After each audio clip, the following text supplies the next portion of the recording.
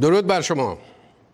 ششم بهمن ماه 1396 خورشیدی و 26 ژانویه 2018 میلادی.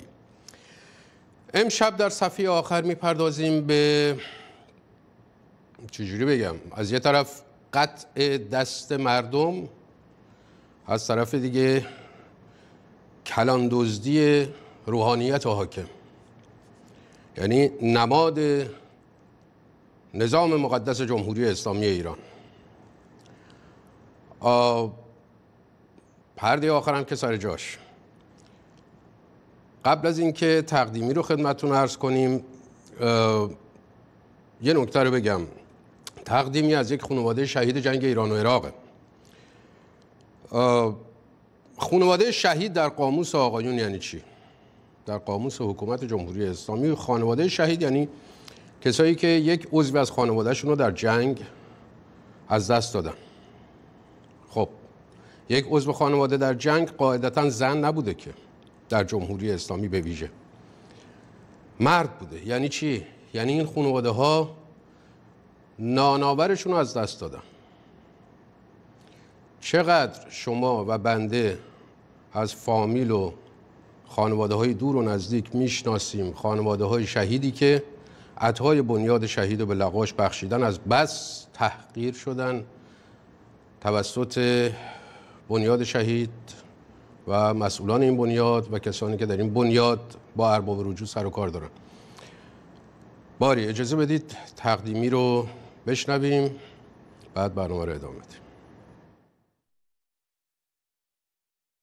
خواستم به آقای صلاحتی عرض کنم در برنامه خودشون ظلمی که به خانواده شهدای بروجه شده اعلان بفرمایند. قراردادی با خانواده شهدا بستم که 160 واحد اونایی که هیچ امتیازی نگرفتن 160 واحد براشون بسازن بنیاد شهید استان لورستان به ارزش 54 میلیون تومن 29 میلیون تومن نقدن واریز کنن 25 میلیونم وام 4 درصد بهشون عطا کنن سال 92 قرارداد بستن قرار شد 93 واحدار تحویل بدن. متاسفانه 93 تحویل ندادن 94 تحویل ندادن 95 تحویل ندادن 96 هنوز که از تحویل ندادن. اومدن 20 میلیون به وامشون اضافه کردن.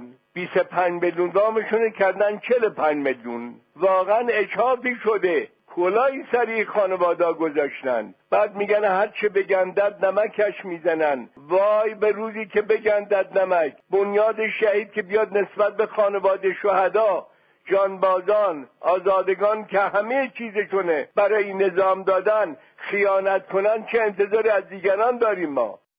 نامه و مدارک رسیده در پیوند با صفحه آخر 24 آذر ماه 96 در صفحه آخر 24 آذر به فعالیت یک فعال اقتصادی پرداختیم اگه یادتون باشه؟ در بم. بعد از زلزله سال 82 که تو اون برنامه این فعال اقتصادی آقای واهی که شاهینیان از مشکلاتی گفتن که سر راه وارد کردن تکنولوژی های لازم برای خانه سازی ویژه مناطق زلزله خیز مثل ایران وجود داره. و یه سری راند ها و بی توجهی ها و ریخت و پاش ها در دولت احمدی نژاد در پیوند با مسکن مهر پرداختن و درباره پارتی بازی آدمای دوربر مهدی جهانگیری برادر معاون اول روحانی هم نکاتی رو گفتن که بیشتر همین نکات باعث شده است که آقای حمید گنجلی خانی رئیس هیئت ژیمناستیک استان کرمان و رئیس سنف تزئینات ساختمان این استان که اسمشون تو برنامه صفحه آخر 24 آذر آمده بود نامه ای بنویسن برای ما و اسنادی بفرستن و تقاضا کنن که نامشون خونده بشه در برنامه. محض یادآوری اجازه بدید که یه تیکه از اون برنامه رو پخش کنیم ببینین بعد نامهشون می‌خونه. بله آقای مهدی جهانگیری اون موقع از مدیران مؤثر اثرگذار استانداری کرمان بود با آقای گنجری خانی که شریک سابق من بود آشنا بود و این پروژه رو که پروژه اسکان موقتی که بایستی که یک شرکت ساختمانی و یک آدم متخصص با یک تیم با تجهیزات این کار رو واگذار کنن. مخصوصا تو حالت فورس ماژوری که توی بم هست که یک کار فوقالعاده حالت عادی نیست. باید به یک آدم متخصص واگذار بکنن اینو واگذار کردن به آقای گنجری خانی که موکت فروش و مغازه موکت فروشی دارن الان هم مغازه موکت فروشی دارن واگذار کردن به ایشون با شرایط ویژه بدون گرفتن زمانتنامه بانکی معتبر معاف از مالیات معاف از کسورات قانونی و ایشون هم این کار رو می‌خواست بده به شخصی که دست دوم و سودی بگیره چون خودش اجرایی نبود. و متاسفانه نتونست اون موقع کسی رو پیدا بکنه بده و کار عقب میافتاد. یاد ما کرد. ما هم علاقه داشتن به کار اجرایی برای اون شروع کردم کار کردم یعنی فقط به دلیل ارتباط شخصی با مهدی جهانگیری پروژه بازسازی بم رو مهدی جهانگیری داد به گنجلی خانی که هیچ دخلی هم به این کار نداشت؟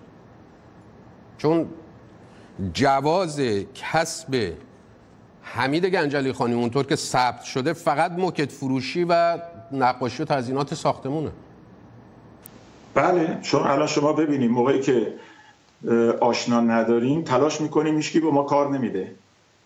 ایشون هم حتما با آشنا که بودن که دادن بهشون آقای حمید گنجلی خانی هفته پیش نامه مفصلی فرستادن که بنده سعی می‌کنم تا اونجا که امکانش هست براتون بخونم. جناب آقای مهدی فلاحتی مجری محترم صدای آمریکا احتراما معروض می‌دارد برنامه در تاریخ 24 9 96 در صفحه آخر صدای آمریکا که با شخصی از طریق اسکایپ به نام واهیک شاهینانس. شاهینانس همون شاهینیان است. شاهینانس اسمشون ثبت شده در مدارکشون که آقای گنجلی خانی برامون فرستادن در مدارک شغلی آقای شاهینیان. همون واهیک شاهینانس ثبت شده. باری برنامه در تاریخ 24 96 در صفحه آخر صدای آمریکا که با شخصی از طریق اسکایپ به نام واهیک شاهینانس مصاحبه و به دفعات از صدای آمریکا پخش کردید.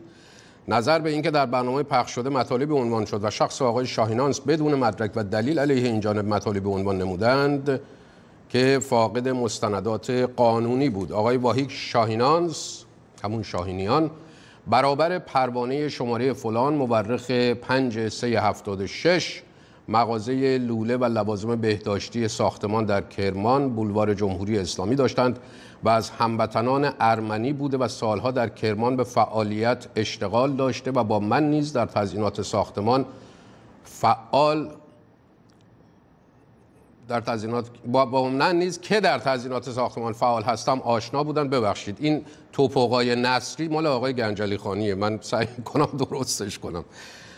آشنا بودند با من و در یک مکان اما از نظر تجاری مستقل عمل می نموده ایم. این آشنایی دیرینه باعث شد در سال 1382 با وقوع زلزله دلخراش بم از همه دوستان آشنایان جهت کمک به زلزله زدگان از جمله ایشان دست یاری بخواهم که با همیاری 300 نفر کارگران ماهر و نیمه ماهر و 24 مهندس و تکنسیان و چهار نفر از ارامن من جمله ایشان کمتر از 10 درصد اسکان موقت بم را هرچه سریعتر به پیش ببریم. از میان حدود 41 هزار اسکان موقت 3171 اسکان موقت را من یعنی گنجلی خانی با همراهی 350 نفر و دیگر پیمانکاران جز در اسرع وقت ساختیم مابقی را دیگر شرکت ها در ابتدا قرار نبود سازندگان مالیات بپردازند اما این قرار عملی نشد و برابر سند پیوست که سراحتا اعلام می کند که آقای حمید گنجلی خانی بابت قراردادهای منعقده اسکان موقت با استانداری به موجب برگ اعلام وصول اداره اجراییات مبلغ دو میلیارد و 34 میلیون ریال پرداخت کرده است. اینکه در برنامه صفحه آخر گفته شد با رانت کار را گرفتن به هیچ وجه صحیح نبوده و دفتر این جانب به نام کلینیک ساختمانی بهارستان و چهارده شرکت دیگر نیاز به رانت نداشتند قیمت هم مقطوع برای همه افراد حقیقی و حقوقی ابعاد معین و در آخر مالیات هم بر اساس اسناد موجود پرداخت شده است که دیدیم. ایشان یعنی آقای شاهینیان شاهینانس. مدعی شدن کار ساخت 3171 واحد را بدون زمانت از ستاد بازسازی گرفتم جای تعجب است.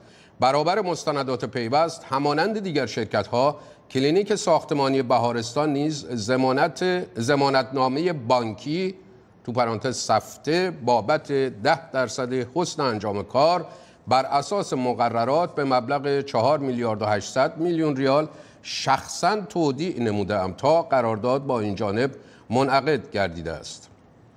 مطلب مطروحه دیگر موضوع ریاست هیئت ژیمناستیک کرمان توسط من بود که آن را هم در برنامه بر اساس زد و بند اعلام نمودند در حالی که من از سالهای دهه پنجاه به عنوان ورزشکار در ژیمناستیک فعالیت داشته عناوین و احکام قهرمانی من در استان و در کشور و متعاقبا مدارک مربیگری درجه یک من نشان از تخصص صلاحیت و کسب آراء مجمع عمومی هیئت ژیمناستیک استان را داشته است. در بخش دیگر برنامه اعلام شد که من باز هم بر اساس ارتباطات موفق به دریافت کل اراضی پروژه هفت باغ شرکت عمران علوی گردیده و با اخذ این رانت و امتیاز بزرگ مبالغ زیادی به جیب زدم. این در حالی است که اراضی هفت باغ چند هزار هکتار بوده و بیش از هزاران نفر اشخاص حقیقی و حقوقی نیز به همین شیوه از طریق شرکت فوق زمین خریداری و نسبت به رونق اقتصادی این مسیر گردشگری به سهم خود اقدام نمودند که برای روشن شدن از خان عمومی پیشنهاد می‌گردد. به سایت هفت باغ نقطه آی آر مراجعه و اطلاعات جامع را دریافت نمایند. بقیه نامه مفصل آقای حمید گنجلی خانی رئیس هیئت ژیمناستیک استان کرمان و رئیس سنف تزیینات ساختمان این استان. به اختلافات شخصی و مالی ایشون با آقای واهیک شاهینیان یا شاهینانس مربوط میشه که اجازه بدید. دیگه وقتتون رو سر این موضوع نگیریم. در طول این چند روز گذشته از شنبه پیش تا همه همین چهار پنج روز گذشته اتفاقای افتاد خبرهایی درس کرد که درس کردم تو مقدمه برنامه که نماد روشنی از نظام مقدس جمهوری اسلامی بود. از یه طرف قطع چهار انگشت دست یک نفر که میگن گوسفند دزدیده بود. از طرف دیگه خبر دزدی های 400 500 میلیارد تومنی از ناب روحانیت حاکم. هی اجرای قطع دست دزد گوسفند در زندان مشهد. تیتر خیلی از روزنامه های این نظام بود. در این چند روز اکثرشون هم کلی عکس این جنایت حیرت انگیز رو چاپ کردن. این وحشیگری دوره بربریت انسان در دنیای امروز فقط می‌دونید همه می‌دونن. فقط کار داعشه و کار جمهوری اسلامی. ببینید فقط تو پنج سال گذشته اونقدر که ثبت شده فقط. قطعا بخش کوچکی از قطعا اقلیت خبرهایی است که حقیقتا اتفاق افتاده واقعا اتفاق افتاده. چقدر حکم قطع دست امثال این گوسفندوز اجرا شده؟ تیر 96 برای فردی که متهم به دستبرد به خانه یک قاضی در تهران است حکم قطع دست صادر شد. 29 فروردین 96 یک زندانی با اتهام قتل و سرقت در زندان عادل آباد شیراز ده روز پس از اجرای حکم قطع دست اعدام شد. پنج دی 95 حکم قطع چهار انگشت دست دو برادر زندانی در ارومیه اجرا شد. 28 آذر 94 حکم قطع انگشتان دست یک سارق در شیراز در ملع عام اجرا شد. 13 مرداد 94 حکم قطع دست و پای یک نفر در زندان مشهد به اجرا درآمد. هفته تیر 94 حکم قطع دست دو سارق در مشهد اجرا شد. هفته بهمن 91 دادستان انقلاب مازندران اعلام کرد قطع چهار انگشت یک سارق در زندان ساری اجرا شد. پنج بهمن 91 حکم قطع چهار انگشت دست یک سارق در شیراز اجرا شد. شیراز اون قبلیه سال 94 بود این یکی سال 91 24 آذر ماه 91 غلام حسین ایدری رئیس کل دادگستری استان یزد از اجرای حد اسلامی و قطع چهار انگشت دست دو نفر در یزد در ملای عام خبر داد. 25 شهریور 89 پس از قطع دست پنج نفر در زندان همدان به جرم دزدی دادستان همدان گفت بهتر بود اجرای این حکم در ملای عام صورت می گرفت دوازده تیر 89 قطع دست یک نفر در زندان ملایر اجرا شد. سی شهریور 96 چهار زندانی را در قم به دار آویختند و دست سه زندانی را قطع کردند. محمد رضا حبیبی دادستان اصفهان روز یکشنبه گفت که طی یک سال گذشته پنج مورد قطع دست در زندان اصفهان اجرا شده اما رسانه این نشده است. 4 آبان 89 ابراهیم رئیسی معاون اول قوه قضاییه گفت قطع دست سارقان بر اساس حدود الهی بوده و این حدود الهی از افتخارات بزرگ ماست. حدود الهی یکی از عناوین است که آخوندهای حاکم پرهیزی ندارن که هر جا می‌تونن تبلیغشو بکنن. علی میر المؤمنین رو کرد گفت دزدیدی یه نگاه به علی کرد گفت تو که دروغ نمی‌تونم آره من دزدی کردم ازت دستش رو قطع کرد. اون خبیس میگه دستش رو گرفت تو کوچه های مدینه شروع کرد. میگه اومدن اصحاب که یا علی این خونش تقته و دما. دستش هم خوب نبستیم همینجور خون داره میره داره مده علی میگه ضعف کرده. داره میگه علی علی دست میگه علی.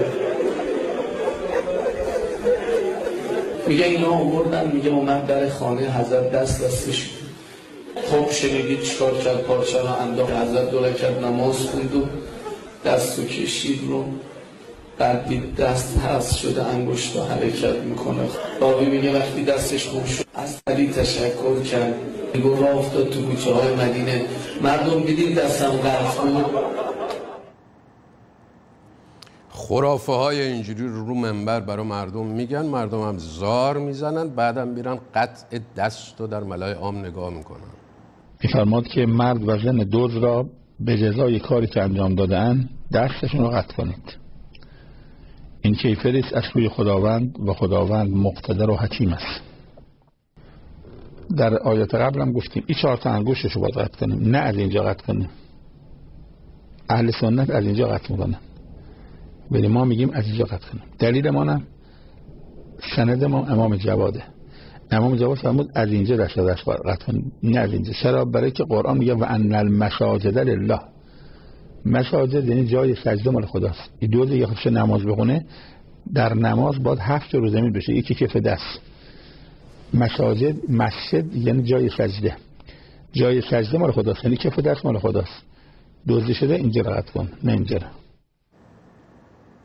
بله.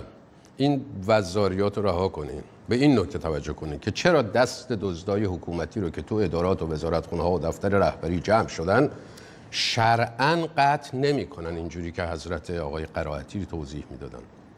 که بعدم بتونن نماز بخونن. یکی از دلیلاش اینه که دزدای حکومتی قفل خونه رو نمیشکنن برای دزدی. اگه قفل بشکنن یکی از شروط زدن انگشتاشون وجود داره. ولی قفل نمیرن بشکنن قفله در. یه جور دیگه دزدی می‌کنن که حدود الهی براشون وجود نداره. باید حتما یه قفل بشکنه دیوار خراب کنه یه جای دربسته بره تو. یک. مثلا اینکه باید دو تا شاهد عادل هم شهادت بدن. اینم دو. آدم هم اگر عادل باشه یکی از شرایط عادل نه که امر معروف کنه نهی از منکر کنه. خب تو چه عادلی هستی که نگاه می‌کردی و نهی از منکر نمی‌کردی؟ خب اگر تو عادلی جلوشو بگیر. اونجا که دو تا عادل دزدی شهادت میدن و جلوشو نمی‌گیرن این پیداست دزد مسلحه و چنون ترس و وحشت انداخته که افراد عادل هم جرأت حرف زدن ندارن. باید هم ندونه. اگر دوز گفت من قانون نمی‌دونستم. اگر می‌دونستم دست دوز قد مونم دوزی نمی‌کردم. دست قد نمی‌کنم باید دوزی باشه که قانون هم بدونه. آقا جان این گوسفند مسلح بود؟ قانون می‌دونست اینا همه چی؟ به حال روشن است که رئیس کل بانک مرکزی و هیئت مدیره مؤسسات مالی و این همه آخوند دزد حکومتی اینا مسلح نیستن حتما. و حتما میگن نمی‌دونستیم که دست دزد می‌زنن. صدق گفتار هم که در شرع انبر کافی است. من قفل که نشکسته دیوار خونه کسی که نرفته بالا. همه کلیدا دست خودشون. اصلا رئیس جمهور خودش کلید داره اصلیه. بعدم دوتا عادل شاهد شما از کجا بیارید که دزدی مثلا سیف و یا اجهی رو شهادت بدن؟ شاهد عادل. وقتی می‌تونه پیدا بشه و دیده باشه دزدی رو که همه دزد نباشن. شاهدی عادل کیلو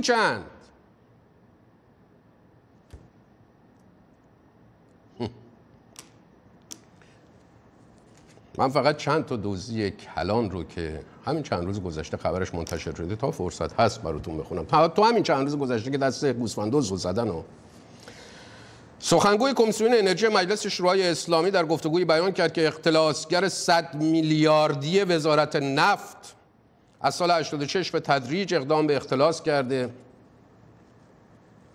و رقم این اختلاس سالانه 10 میلیارد تومان بوده و این فرد تنها سه ساعت پس از مطلع شدن دستگاه های نظارتی توانست از کشور فرار کند.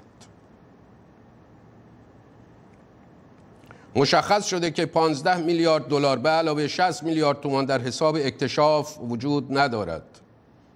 اگر به قیمت دلار آزاد رقم 15 میلیون دلار را محاسبه کنیم چیز حدود 66 میلیارد تومان می شود که با احتساب 60 میلیارد دیگر 126 میلیارد تومان ناپدید شده است که خیلی بیش از اینه. بی خود نمیگم خیلی بیش از اینه این حالا در میاد خبرش. 126 میلیارد تومان خودشون میگن ناپدید. کجا تشریف بردن ایشون؟ کانادا. یکی دیگه تو همین دو سه روز گذشته.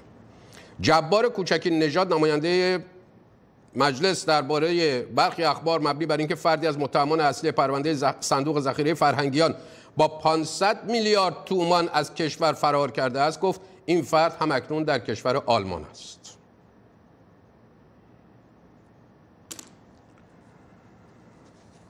من بذارین سریعتر بخونم اینا رو. ببینید 15 هزار میلیارد تومن میزان دزدی های اعلام شده است. طبق گفته نماینده مجلس. که چند نفر دزدیدن از مردم فقط یکیشون که همین فردی است که فرار کرده به آلمان 500 میلیارد تومن دزدیده و در رفته خارج. به همین راحتی 500 میلیارد تومن به دلار میشه چقدر؟ با این پول چیکار میشه کرد؟ این فقط یه نفر دزدیده 15 هزار میلیارد تومن شما با نیم میلیارد تومن شمایی که نسبتا هم مرفه هستیم با نیم میلیارد تومن می‌تونی یه آپارتمان در یک تو تهران داشته باشی.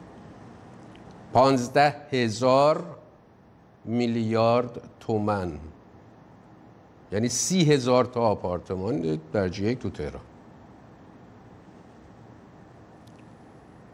از این سه نفری که چند هزار میلیارد تومن دزدیدن دو تاشون رفتن یکیشون رفته آلمان یکیشون رفته کانادا یکیشون رو میگن گرفتن. تو همین سه چهار روز اخیر این خبرها. بهش میگن سلطان پتروشیمی.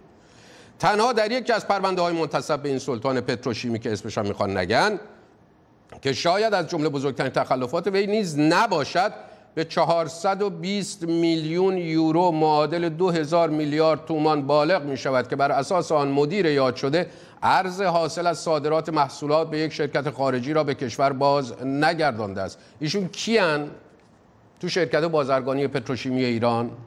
آقای محسن احمدیان عضو اصلی هیئت مدیره کد ملی 0046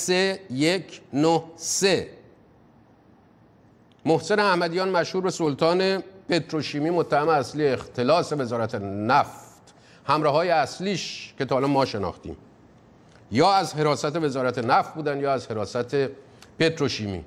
منظورم اینه که حراستی بودن. یعنی باید از منابع و منافع وزارت نفت و پتروشیمی محافظت می‌کردن. دزد اصلی در اومدن. درست مثل قوه قضاییه که باید عدل و داد اجرا کنه. خودش از همه ظالم تره همه جای این مملکت به همه جاش میاد. این چهارتا بودن دیگه عکس دوتاشون رو دیدین و سمتاشون منصور تقیزاده حسین جوادی هوشنگ ایزدی حسین نقیبی راد و عبدالحمید امامی. اینا همراه با محسن احمدیان مشهور به سلطان پتروشیم. این افراد اونایی که رفتن آلمان و کانادا خاوری که محسنی اجهی خودش فراریش داد بعد اعلام کردن مدیر کل بانک ملی فرار کرد. مثل اینا که اول در رفتن درشون دادن بعد گفتن ای اختلاس کننده فرار کرد 400 هزار نمی‌دونم فلان 400 میلیارد تومن 500 میلیارد تومن 126 میلیارد تومن فرار کردن. اینا و همه کسایی که مرتکب جنایت علیه میلیون ها سپردهگذار مؤسسه های مالی و بانک ها شدن اینا رو باید بهشون پست و مقام هم داد. تا از تجربیاتشون استفاده کرد. اما گوسفند دزد رو باید دستش رو گذاشت زیر تبر. مردمی که با شعار مرگ بر گرانی میان خیابون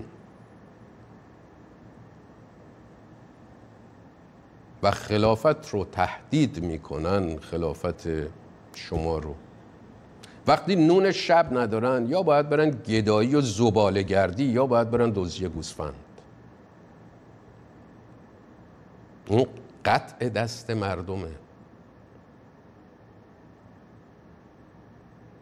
سازمان تأمین اجتماعی شما که مثلا مثل همه کشور سازمان تأمین اجتماعی باید از بیکارا حمایت کنه.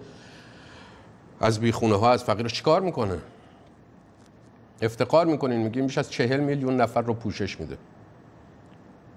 فقط به بازنشسته ها باید بپردازه. اونم بازنشسته ها که هر روز تو خیابونن.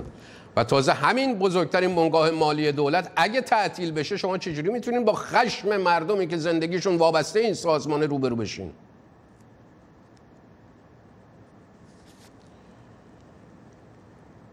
عجیبه ها. یعنی سازمان تامین اجتماعی در خطر تعطیله. سمیه محمودی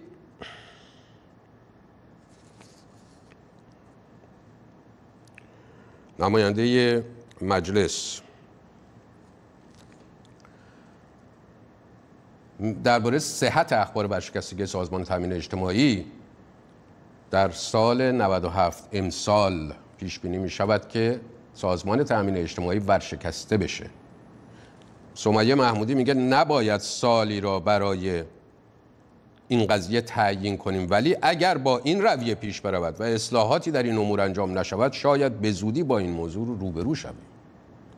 همین الان سازمان تامین اجتماعی 9000 میلیارد تومن کم داره. از اون بر فقط 3000 میلیارد تومن از سازمان هدفمندی یارانه ها طلب داره.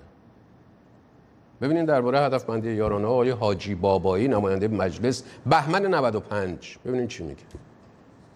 شما الان چقدر به مردم پول می‌دید؟ 35 هزار میلیارد تومن در سال این 45500 تومن مردم که میدن بهشون. از اون ناحیه چقدر درآمدی هزینه دارن چقدر درآمد دارید. هیچی همین قدر نه همین قدره چند میلیون لیتر بنزین در روز میفروشید؟ گفتن که 73 میلیون لیتر الان بنزین میفروشیم. ما به تفاوت اون روزی که بنزین مصوب کردیم با امروز چقدره؟ 100 تومن بود بنزین. الان چقدره؟ هزار تن به 1200 تن میانگینش میشه 1071 73 میلیون ضرب در 971 تن زده 365 روز 26 هزار میلیارد تن فقط یه قدم. نه قلمه. بنزین نفت کوره نفت سفید نفت گاز سی ان جی آب برق ایناست الان 45 تن شده چقدر؟ 8 خب حالا به من بگونم بنزین شده چقدر؟ 100 تومن شده چقدر؟ هزار تومن و تازه قرم بهش می‌زنیم که داریم پول زیادی بهت میدیم. این چه نوع برخورد با مردم این چه نوع برخورد با مردم آقا ما اعلام کردیم ملت بزرگ ایران 80 هزار میلیارد تومن ما درآمد هدفمندی یارانه ها عزیزان ما در دولت یک گزارش دادن توی روزنامه ها و فلان سی یک بیشتر نیست. دیگه قطعی مرکز پریشان نظر شد 87 هزار میلیارد تومن بی سر و سامانی و بی قانونی است 87 هزار میلیارد تومن از مردم گرفتیم. 36 هزار میلیارد تومن ریختیم تو خزانه. بوده 50 هزار تاشو تو نریختیم. کسی هم نخورده. خودشون در آوردن خودشون خرج کردن. وقتی آدم خودش در رو خودش خرج بکنه ممکنه مثلا پاداش یه میلیاردی هم بگیره. حالا ما هم میگیم آقا ببخشید 87 هزار میلیارد تن از مردم پولی که می‌گیریم برق گران کردیم. آب اینو بیزید به خزانه. از خزانه بردارید. مگه میشه پول آدم در تو خزانه نریزه؟ ما به هیچ کس مشکوک نیستیم به هیچ کس هم شک نمی‌کنه همشون انشالله برای مثلا دعای توسلی کار خرج کردن. تو نظام مقدس به جای کلمه دزدی های کلان کلمه تخلف رو به کار می‌برن. همین هفته رئیس دیوان محاسبات کشور جیغش در اومد از پولایی که تازه کشف شده مثلا که به خزانه ریخته نشده رئیس دیوان محاسبات همچنین خبر داد که در بودجه 95 در بعضی دستگاه ها بخشی از اعتبارات پیشگیری از حوادث صرف خرید لوازم اداری و اجرای طرحهای عمرانی شده. عادل آذر همچنین گفت شرکت ملی نفت و شرکت های پتروشیمی بخشی از درآمدها را به خزانه واریز نکردند. نزدیک 24 هزار میلیارد تومان پول دست نفت و شرکت ها و پتروشیمی ها و پالایشگاه ها مونده از این کشور و ندادن. کمیسیون بودجه این موضوع رو جدی دنبال کنن. چطور اینا تخلف کردن؟ 24 هزار میلیارد تومن کی خورده؟ کی برده؟ جاش که معلومه شرکت ملی نفت شرکت های پتروشیمی. رئیساش کیان؟ رئیس کل اینا کیه؟ زنگینه کجاست؟ یکی از دوستان در پیامی به تلگرام بنده نمونه های از فساد مسئولان حکومت رو نوشته. از جمله خرید منزل می‌خوام بگم. ببین مردم بدبخت. اینا یه کاسه گذاشتن وسط. ببینین خرید منزل حسین همین همین آقایی که صداش اومد گفت آقا ببینید این تخلفات رو چرا باید نمی‌دونم کمیسیون فلان مجلس دنبال کنه. های علی لاریجان تخلف خرید منزل حسین زاویه در دزاشیب توسط علی لاریجانی رئیس مجلس. البته این معامله درست در زمانی که آخرین روزهای دلار 1100 تومان بود انجام شده و مبلغ معامله 19 میلیارد تومان یعنی در حدود 19 میلیون دلار در آن زمان. این خانه مرحوم حاجی زاویه بود که هفت ساختمان برای دخترهایش در این باغ ساخته بود. وسعت آن را تصور کنید. امروز این ملک چقدر قیمت دارد؟ آیا علی خان لاریجانی با حقوق مجلس این ملک و خانه ها را خریده؟ خبر دزدی گوسفند تو رسانه هاتون داد می‌زنین اما هیچ توضیحی به مردم نمیدین که چرا به گفته عضو شورای شهر تهران ماهانه 550 میلیارد تومن حقوق تو شهرداری تهران پرداخت میشه؟ بر اساس آمار بیش از 130 هزار نفر از شهرداری تهران حقوق می‌گیرن در حالی که شهرداری 68 هزار نفر نیروی استخدامی داره. کجا میره حقوق 62 هزار نفری که وجود ندارن؟ همش هم میگین پول ندارین. بعد برای اینکه بگین رهبر خودش خوبه اعلی حضرت رهبر خودش خوبه. اگه این اشکالا هست مال دوروری های ایشونه. میان یه حقه تابلو می‌زنین ببینید کفگیر تبلیغات چجوری به تاییدیگ می‌خوره دیگه آخرای عمر که میشه. یه این تبلیغات رو نگاه کنید همین هفته پیش 150 میلیون دلار برای مقابله با گرد و غبار جنوب کشور از جمله خوزستان در نظر گرفته شده بود که کمیسیون تلفیق مجلس آن را حذف کرد. خب این خبر اول میاد. بعد هم خبرهای مربوط به گرد و غبار در کرمانشاه در اهواز در فلان اینا که واقعیت هم هست. اونها هم هی پمپاژ میشه تو رسانه های جمهوری. بعد روزنامه ها پر میشه از کرم امام خامنه ای که دستور دادن. از صندوق توسعه ملی همون 150 میلیون دلار رو بردارن برای ریزگردها مبارزه با ریزگردها. طیبه سیاوشی کوین خانم طیبه سیاوشی؟ بله. در گفتگوی با اشاره به موافقت مقام معظم رهبری برای چند مورد برداشت از صندوق توسعه ملی در سال 97 اظهار کرد. با اذن مقام معظم رهبری 150 میلیون دلار از محل صندوق توسعه ملی برای مقابله با ریزگردها اختصاص می‌یابد. در روزهای گذشته انتشار اخباری مبنی بر حذف اعتبار مقابله با ریزگردها در بودجه 97 انتقادات زیادی را برانگیخته بود. این در حالی است که اختصاص این اعتبار نیازمند دریافت اذن رهبری بود که در حال حاضر مجلس این اذن را دریافت کرده است. خیلی چندش انگیزه واقعا. حالا حقیقت چیه؟ چهار میلیارد دلار از صندوق توسعه برداشتن به دستور خامنه ای 150 میلیونشون رو گفتن آقا می‌ذارن جای بودجه رد شده ریزگردها. بقیهش چیه؟ بقیهش اساسا بودجه نظامیه. کم بوده اون چه که تو بودجه سالانه اومده. چهار میلیارد دلار هم برداشتن. افزایش حدود 25 درصد به بودجه نظامی ایران و حدود 41 درصد به بودجه صدا و سیما با برداشت از صندوق توسعه ملی. حضرت آقا کرم کردن. بعد در ادامه این جستای نخنما دولت هم جلسه می‌ذاره تصمیم می‌گیره 11 هزار میلیارد و 500 میلیون تومن بده به مؤسسه های مالی و اعتباری و سهامی و خلاصه مؤسسه های بدهکار به مردم که بدهیاشون رو بدن به سهامدارا و سرمایه گذارا دولت تا الان حدود 11 هزار میلیارد تومن بانک مرکزی پول پرداخت کرده. باز حدود 8 هزار میلیارد تومن اموالی برای این مؤسسات که از پول همین سپردگزاران فراهم شده وجود داشته. منتها بانک مرکزی اجازه می‌خواست که بتونه از این 8000 میلیارد تومن اونایی که قابل تبدیله یا اصلا خودش بگیره و 8000 میلیارد تومن دارایی رو هم توضیح بکنه این رو باید قوه محترم قضاییه موافقت می‌کرد که خوشبختانه دیشب مقدمات اون کار هم فراهم شده. بله. یعنی رو هم اینطور که آقای نوبخت فرمودن سخنگوی دولت 19 هزار میلیارد تومن فراهم شده. از جیب مردم برداشته شده تا به مردم داده بشه. خب چقدر هر مؤسسه به مردم بدهکاره؟ که دولت می‌خواد این فداکاری رو بکنه این دوزی رو عجیب مردم بکنه بده به مردم. چقدر بدهکار هر مؤسسه؟ برای مثال پدیده شاندیز رو که همین دو هفته پیش برنامه داشتیم می‌دونین دیگه که به وضوح گفتیم هشت هزار میلیارد تومن بدهیش به سهامدارا مردمی که هر روز میان تو خیابون. قوه قضاییه وقتی که اینو از پهلوان گرفت محسن پهلوان وقتی که گرفت گفت تو ارزه این کارو نداری ما خودمون جمعش می‌کنیم. گفت چقدر دارای رسما قوه قضاییه اعلام کرد؟ ده هزار میلیارد تومن دارایی پدیده شاندیزه. هرچند که دو برابر این میزان یعنی 20 هزار میلیارد تومنه ولی گیریم حرف قوه قضایی درست. ده هزار میلیارد تومن دارایی پدیده شاندیزه. هشت هزار تا طلبکار داره. سهامداری داره که میگن پولمون رو بده. درست؟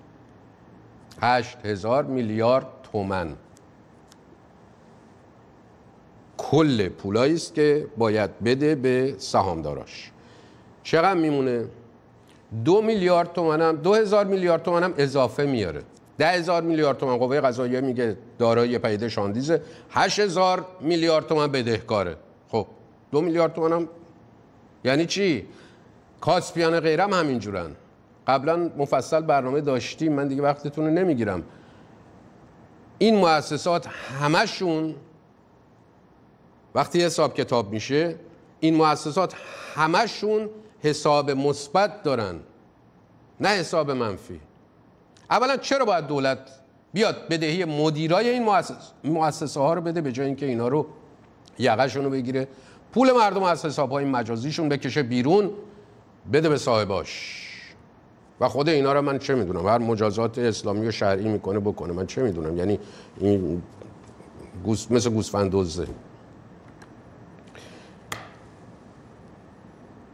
میره از اینا کارشون که نداره. عرض کردم پست و مقامم که بهشون میده که میگم دیگه من هی برنامه قبلی رو تکرار نمی کنم خودش متعهد میشه که کاری به پولشون نداشته باشه و بره باز دوباره از جای دیگه از خزانه دولت ورداره. یعنی از پول مردم یعنی از مالیات مردم ورداره. بره بده به مردم به عنوان سهامدارا چقدر تازه این وسط خورده میشه دوباره تو این سیستم فاسد. باز دوباره بخوان این کارو بکنن. حتی در چارچوب قوانین خودشون رو مگه نگاه کنیم. این چه منطقی داره که جیب مردم رو باز خالی کنی به اسم اینکه می‌خوای بدهی مردم رو بدی؟ از خودشون بکشی بیرون بده چون قدرت دستت دیگه. این چه قانون و این چه مجری قانونه؟ بذاریم بریم سراغ آقای دکتر نعمت احمدی حقوقدان در تهران.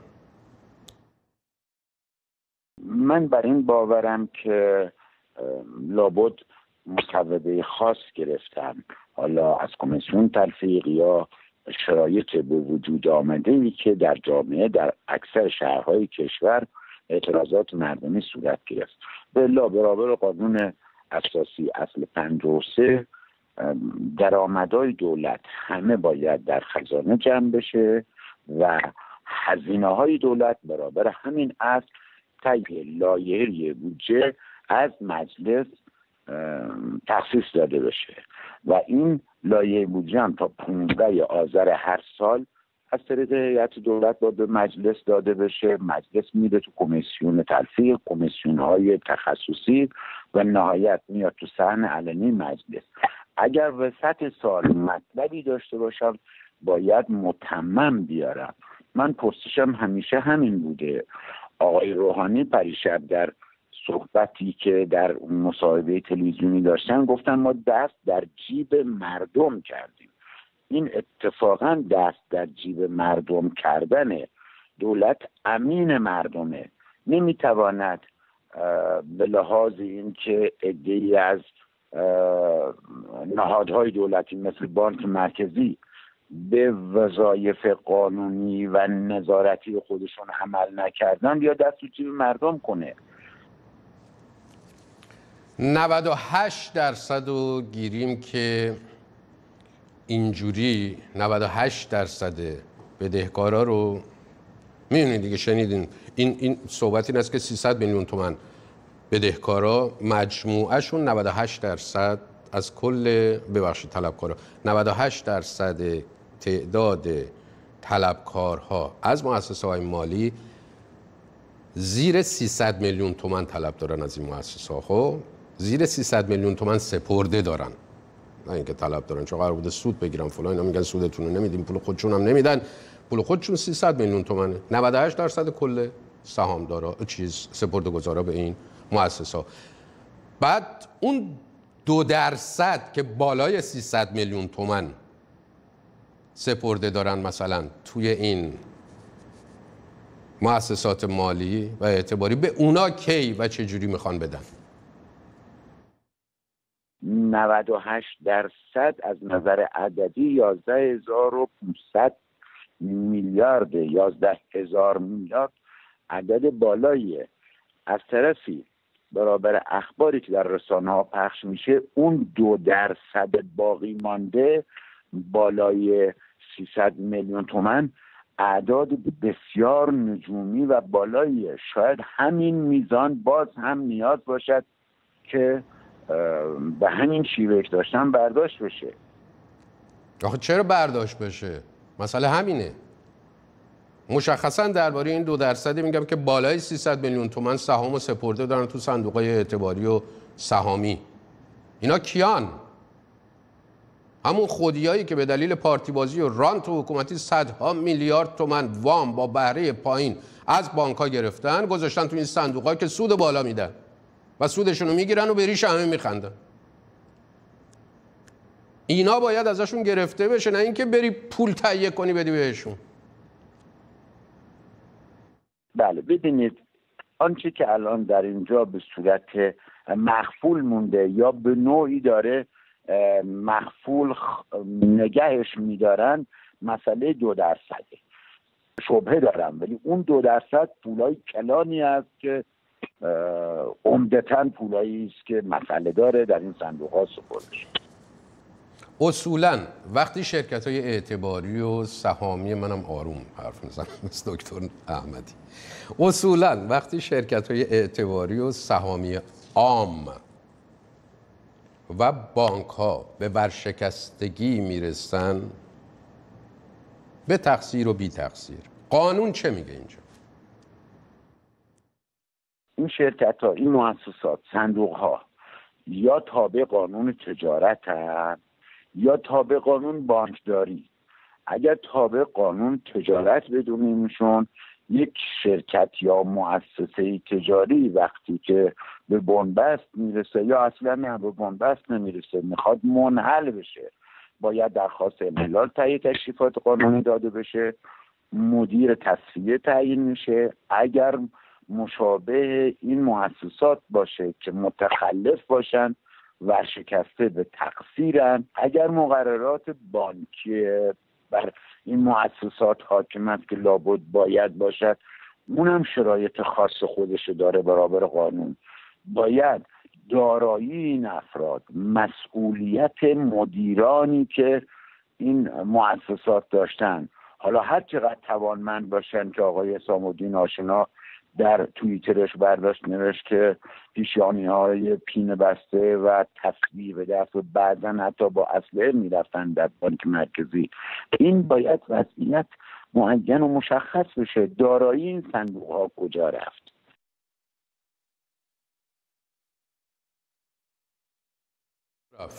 سوال اصلی همینه. دارایی این صندوق ها کجا رفت؟ این اگر روشن بشه بقیه سوالا بعد از این مطرح میشه.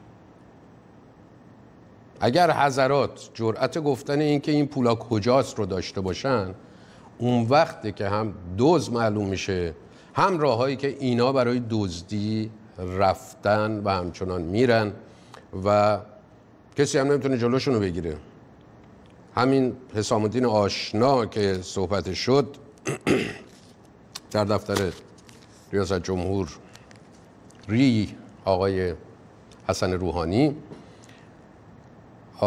در توییترش یکی دو تا نکته نوشته بود که حتما بهش گفتم بنویس دیگه به هر حال میگه فلان آدم دمکلفت با اسلحه وارد بانک مرکزی می‌شد کسی نمی‌تونست بگه خرید به چند. و هیچ کس نمی‌تونست نمی‌تونه اصلا نمی‌تونست با این مافیا برخورد بکنه. نمی‌تونه برخورد بکنه. وگرنه نه محمود رضا خاوری می‌تونست در بره از کشور.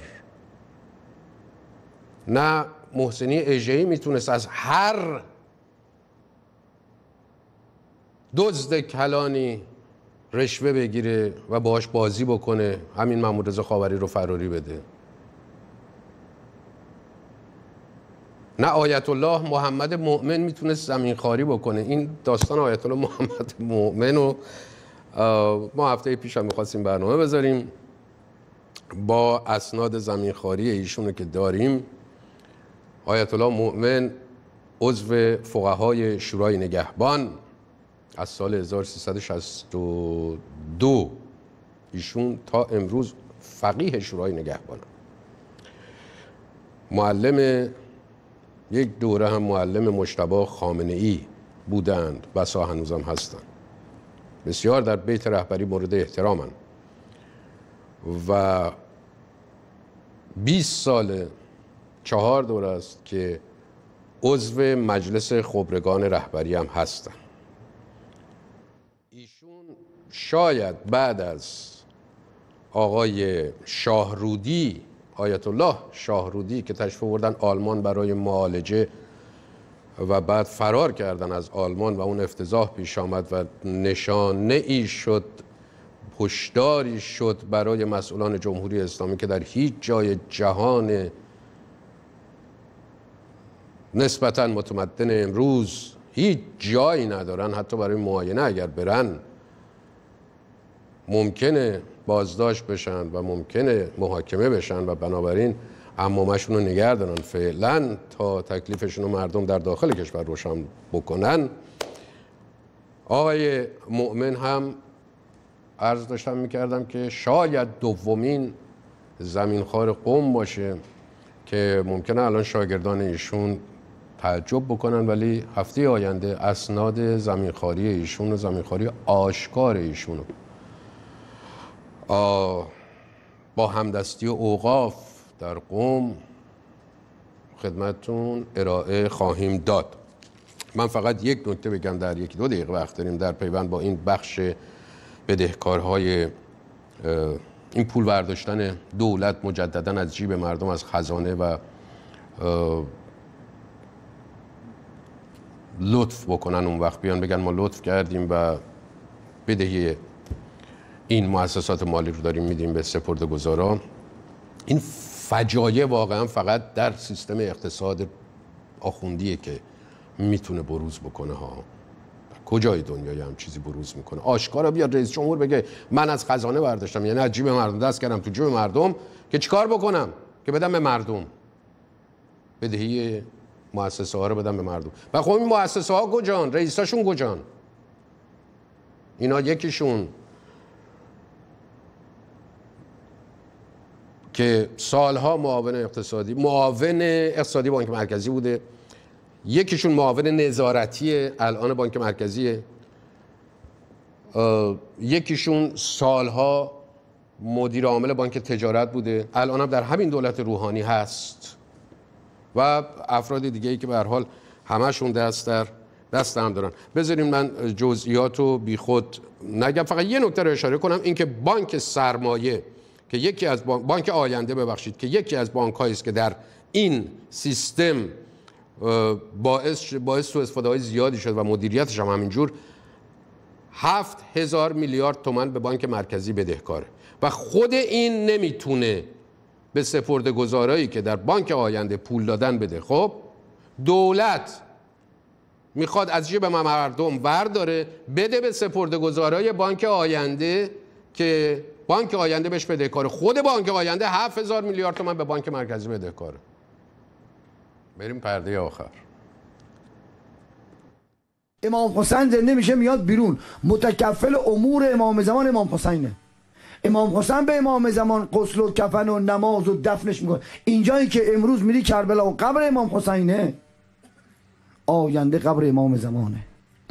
امام حسین سلام الله علیه پنجاه هزار سال بر کره زمین حکومت می‌کنه. حدیث داریم اونقدر ابروهاش بلند میشه که ابروهاش با دستمال میبندن.